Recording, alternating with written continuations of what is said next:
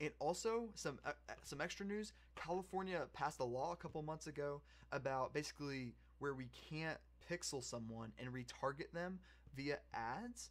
And my opinion, I don't think this will take off. I don't think it's um, anything important. I think it's just California being California, to be honest. And I don't think like it's basically a privacy law.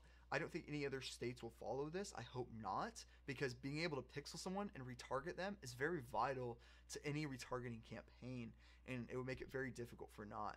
And advertisers would pay a lot more to retarget like this, and states just won't benefit um, off those advertising dollars if th- that goes away. So I don't see that as important. I don't see that as coming up and expanding. I just see it as California and that's remaining in its own silo. That's how I see it, and let's hope it stays like that.